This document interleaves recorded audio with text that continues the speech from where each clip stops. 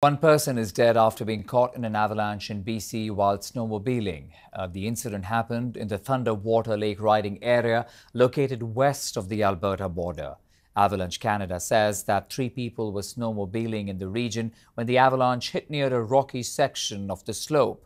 Two were swept up. The victim was found by people in the group who attempted CPR.